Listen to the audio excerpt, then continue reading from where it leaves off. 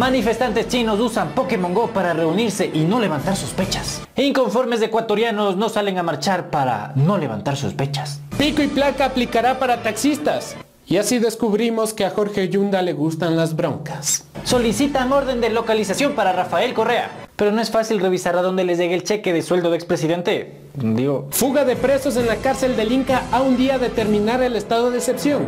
¿Alguien dijo juicio a María Paula Romo? Mi nombre es Francisco Contreras mi nombre es Andrés Burbano. y esto es Beso Negro. Periodismo que va a lo profundo, como esta hermosa champa.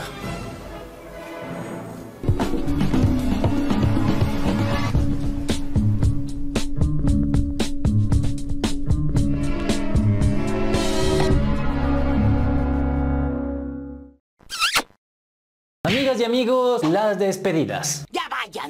Esas cosas que uno sabe que llegarán, pero que espera que no sea tan pronto. Y es que así le pasó al cura Tuárez y a los consejeros Walter Gómez, Rosa Chalá y Victoria de Sintonio cuando la asamblea, después de un largo proceso de juicio político, les dijo hasta aquí nomás panas y les echó de sus cargos. Oh, pobrecito. Déjame tocar una canción triste para ti en el violín más pequeño del mundo. Toda esta situación fue la crónica de una destitución anunciada. Desde que los consejeros asumieron sus funciones, muchos grupos opositores empezaron a impugnar la existencia del Consejo de Participación. Y bueno, con el comportamiento de Tuárez, no es que se podía pedir menos, la verdad. En términos coloquiales, lo que tenemos es a un alvarito del Consejo de Participación Ciudadana. Y vean, colegas, si es que esto fuera una película de terror, debería llamarse El cura sin cabeza. ¡Wow! Eso fue bastante brutal, aún para mí. Tuárez y sus amiguitos. Exactamente 63 días duraron en el consejo. Ni los dejaron acomodarse bien en el puesto y ya los mandaron para su casa. Eso sí es de gangsters. De gangsters. La decisión de la asamblea de llevar a cabo un juicio político y la posterior destitución de los funcionarios fue criticada por algunos actores. Entre ellos Edwin Jarrín, ex vocal de este consejo, quien mencionó que este tipo de actos eran inconstitucionales, pues estarían atentando contra la voluntad popular que eligió a los representantes para que desempeñen estos cargos. Para concluir, estamos hablando que a menos de 60 días de que están posesionados, se los destituye por incumplimiento de funciones, cuando la más votada de las cuatro personas que están siendo enjuiciadas, ¿sí? tuvo cerca de 2 millones y medio de votos. O sea, el proceso y el retirarle los derechos políticos no es solamente a ellos, es a los millones de ecuatorianos que votaron por ellos. Esto ya es demasiado. Mientras todos discutían esto, en la asamblea proseguía el juicio político por incumplimiento de funciones en contra de los consejeros. Y finalmente el miércoles 14 de agosto se resolvió el cese de sus funciones con 84 votos afirmativos. Y adivinen qué bloque se opuso a la votación. Adivinen. Exactamente, nuestros amigos correístas. se produjo en medio de una larga sesión en donde hubo protestas específicamente del bloque correísta que exhibió un ataúd eh, con el logo de la Constitución y también una, una pancarta eh, que hablaba de la violación a la Carta Política del Estado.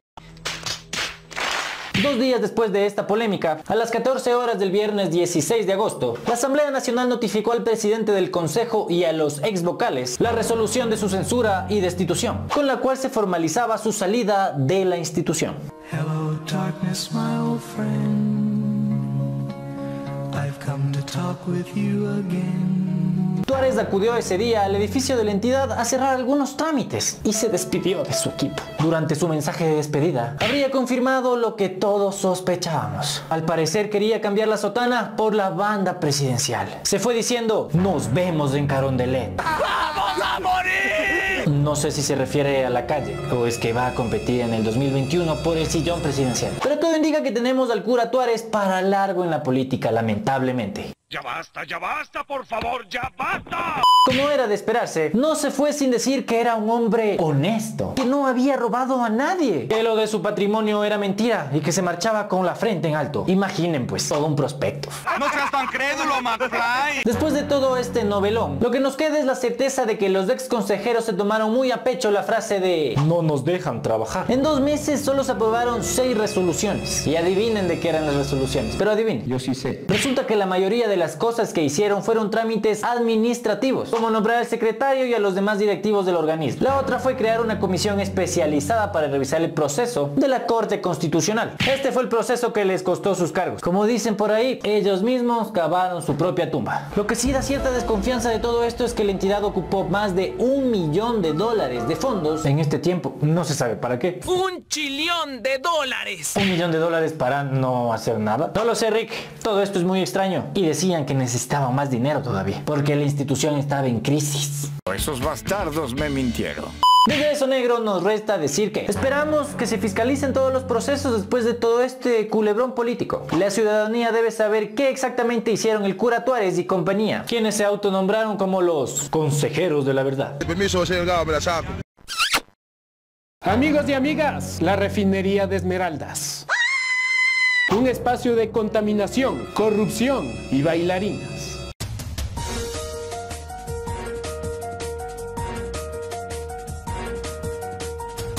¡Diablos, señorita! En agosto del año pasado se reveló que la refinería de petróleo más grande del Ecuador se encontraba en una situación crítica. ¡Ay, qué interesante, March! Cuéntamelo todo. Ex trabajadores hicieron una investigación y encontraron que el tratamiento de desechos químicos era mezclarles con tierrita y camuflarles ahí en los arbustos. Bien ambientales en la refinería, bien ambientales. Esto se habría estado haciendo desde hace dos años atrás. ¿Y qué dijo el señor gobierno? Pues Petroecuador dijo que esto iba a cambiar y que las cosas mejorarían, pero a la final...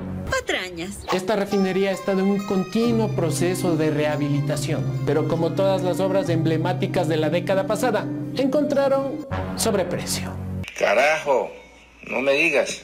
Según Fernando Villavicencio, el precio de la rehabilitación de la refinería de Esmeraldas se infló casi siete veces en cinco años, del 2010 al 2015. El monto inicial para su rehabilitación fue presupuestado por 755 millones de dólares, pero le terminó costando al país 2.323 millones. La verdad, las cosas como son. Con esa plata nos hacíamos una refinería nueva, hacíamos mil escuelas del milenio, con todos estos problemas se entiende que quieren vender la refinería. Pues ese es el plan de Santiago Cuesta, el malévolo consejero del presidente.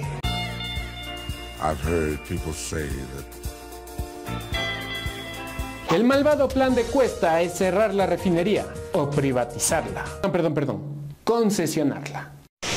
En la refinería de Esmeralda se dieron detalles de lo que será la concesión de esta planta industrial, para lo cual aún no hay una fecha definida. Antes de tomar la concesión, tenemos que parar la refinería de Esmeraldas. Lo único que entendí fue pégame, Riz. Pégame y no pares de pegarme. Cuesta dice que se cerrará la refinería en caso de no encontrar un socio capitalista que desee invertir. ¿Y qué pasará con los trabajadores? Solo de venir y decir voy a concesionar o voy a cerrar, eso no lo vamos a permitir porque quedarían miles de miles de familias en la calle. Dice que no habrá despidos masivos, así dice. Pero por cómo va la historia de este gobierno, como que... mm, No lo sé, Rick. Parece falso.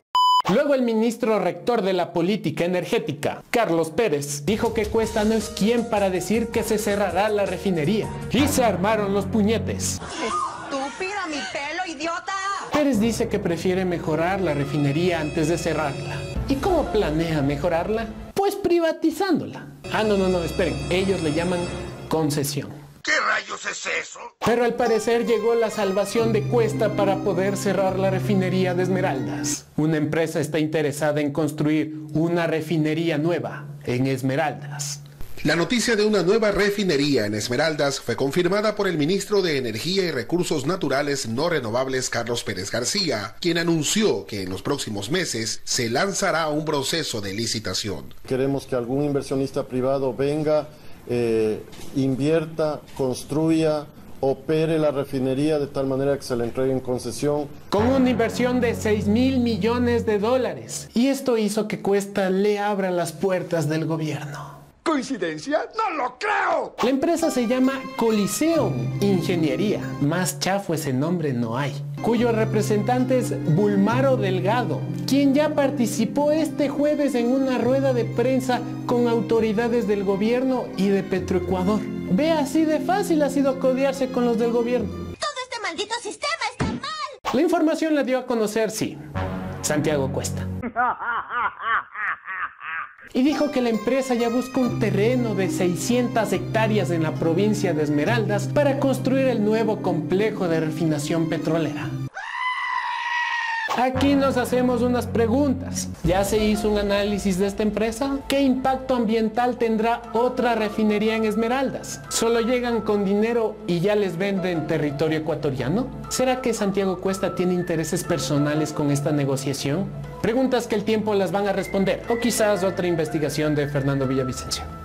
Desde Beso Negro nos resta decir que la refinería tiene una crisis ambiental y este fue el pretexto para que la corrupción también contamine a la provincia de Esmeraldas. Ahora quieren concesionar pero ponen en peligro los empleos de las personas que trabajan en ese foco de contaminación. ¿Una nueva refinería será la solución? ¿O una nueva refinería extranjera es la solución para la crisis económica de este gobierno? Mejor les dejamos imágenes de lo único bueno que ha salido de la refinería de Esmeraldas las fiestas.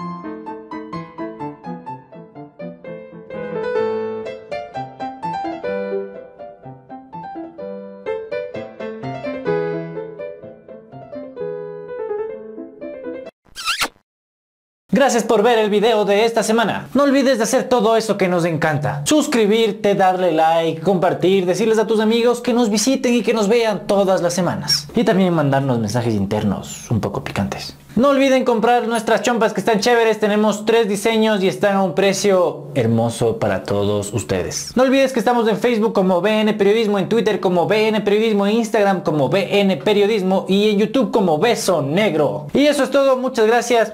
Nos vemos muchachos. Señoras y señores, muchas gracias. Que te lleve el diablo.